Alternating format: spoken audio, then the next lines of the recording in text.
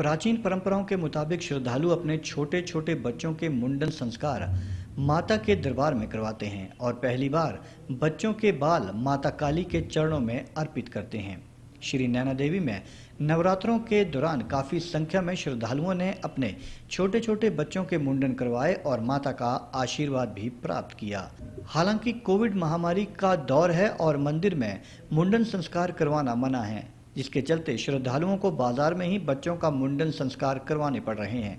पंजाब से आए श्रद्धालु जिसने अपने बच्चों के मुंडन संस्कार करवाए का कहना था कि ये उनकी प्राचीन परंपरा है। पहले उनके मुंडन संस्कार उनके पिता ने करवाए थे, अब वे अपने बच्चों के मुंडन संस्कार यहाँ माँ के दरबार में करवाने पहुँचे हैं।